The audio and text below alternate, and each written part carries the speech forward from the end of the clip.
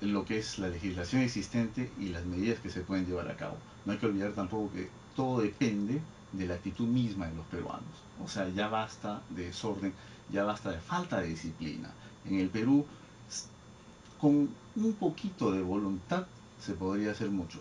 Les doy el ejemplo, por ejemplo, de las combis en el Perú. Imagínense ustedes, ese problema se vive de años, y no de ahora. Incluso un familiar mío fue víctima de una combi donde pues, le rompieron el brazo y la pierna. Imagínense ustedes hasta qué grado hemos ido de que eso continúa todavía siendo un problema que nadie le da solución, porque falta la voluntad política y sobre todo falta la visión para poder arreglar las cosas. Es todo un proceso, como por ejemplo con la corrupción. Es todo un proceso. No se trata aquí de ser humanista y decir vamos a, a fusilar a todos los corruptos, porque no, porque nosotros defendemos los derechos del hombre y los derechos humanos. Pero ¿qué podemos hacer? justamente concientizar a la gente, motivarlos a que no entren en ese círculo vicioso de la corrupción. Me parece que son medidas que habría que aplicar. Ahora, el, eh, eh, bueno, lo que arroja la, la última generación de peruanos, lamentablemente, tienen estereotipos eh, que, que, no son tan positivos, más bien por el contrario, que están llegando ya a los extremos de lo negativo tipo Vladimir Montesinos y, y para ustedes contar. ¿Qué pasa con eso? Todo el mundo quiere de la noche a la mañana tener algo, estar en algo, y nadie quiere estudiar. O, y si quieren estudiar, pues quieren salvar los conductos para de una vez, oye, si no estás en nada, pues estás en nada y no, y no sirves para, para nada. ¿Qué significa eso? Pues tienes que ser mosca, vivo, el, el, el, que, el que por ahí está haciendo una trampa es porque de alguna manera está en algo. O sea, es, la jerga, es, la, es la modo, el modo de, incluso sintético del joven a la hora de comunicarse. Contaba Vargas Llosa que, que se va a un suburbio de, las playas de Lima y bueno, encuentra una pareja de muchachitos y le dice, oye, ¿ustedes han venido solos? Y, los muchachitos lo quedan mirando, ¿y este quién es? Eh? Tío, ¿usted en qué planeta vive? Estamos en, en, Semana Santa, estamos disfrutando acá en la playa, déjenos tranquilos, por favor. Oye, pero si es el novelista, nada, ¿qué va a ser novelista? Es inteligente, no creo que sea. O sea, encima se burlaron de Vargas Llosa. Y él, bueno, le da un poco de melancolía, porque él dice, él, tú sabes que tiene una situación contraria a lo que es la posición de Venezuela con el presidente Chávez y todo lo demás, ¿no? Pero aún así, en algún momento, él dijo lo siguiente, dijo que él añora y, valora ahora aquellos momentos en los cuales existía por ahí esa situación eh, vedada para leer, por ejemplo, libros de Marx y de Engels, ¿no? Y que quizás esos momentos fueron los que a él le hicieron eh, ser un poco más intelectual de lo que es. Bueno, el Perú vive pues un, digamos, una abertura casi que, que, se podría llamar de libertinaje. Se ve eso en los medios de comunicación, por ejemplo, en el Perú, donde todo es frivolidad y todo es media verdad, desgraciadamente. Pero eso obedece, digamos, a todo este caos político en los cuales, pues, como usted bien lo indicaba, todo el mundo quiere ganarse al guito, ¿no? Entonces es una, si se quiere, es una sociedad donde todo el mundo está tratando de avanzar, pero a codazos eh, y pasando por encima de los demás. No existe pues esa ética, digamos, profesional o simplemente personal a la cual uno podría pues, digamos, hacer un llamado en momentos como estos. Ahora, el caso de Montesinos, por ejemplo, ¿no? Eh, eh, habría que agradecerle en cierta manera a este señor y felizmente que esté en la cárcel por lo que ha hecho.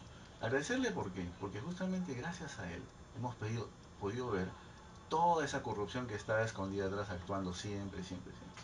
Él los ha puesto en pantalla y es algo que me parece loable. Para ser alguien de inteligencia, creo que es el hombre más, digamos, usted sabe lo que piensa.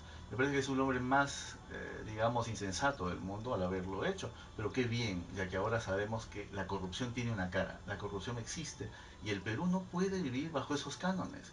Eso es lo triste, que el peruano se vanagloria de ver a alguien que ha robado y que lo ha hecho de una manera pues mintiendo a todo el mundo.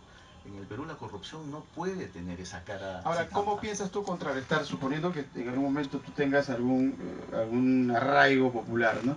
¿Cómo haces para precisamente contrarrestar y, y con esa gente que para que tenga ese arraigo popular pues tiene que aceptar de que lo que tú le dices es mucho más contundente y, tal vez es el, el, camino más corto para que ellos salgan de la extrema pobreza en la que se encuentran o de la pobreza en la que se encuentran. O sea, ¿cómo puedes hacer de que él eh, diga, oye, este camino que me está presentando aquí Carlos Jaico, efectivamente es mucho más corto que el que me presentó Montesinos.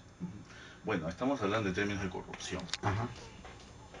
Para luchar contra la corrupción no existe remedio así milagroso.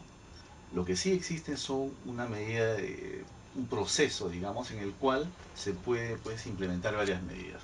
Una de las principales y es en las cuales eh, estamos trabajando es justamente la juventud. La juventud es la llamada ahora justamente a participar en este proceso. Estuve en la ciudad del Cusco en el mes de agosto en la Universidad San Antonio Abad dando una conferencia sobre corrupción y desarrollo nacional. Y la conclusión de todo esto fue lo siguiente, de que la juventud simplemente no quiere vivir en un país lleno de corrupción, con políticos corruptos. Cusco desgraciadamente se caracteriza por eso. Ahora, ellos justamente, que ahora denuncian los actos de corrupción, van a llegar a tomar posiciones políticas y son ellos justamente los que van a tener que cambiar el sistema.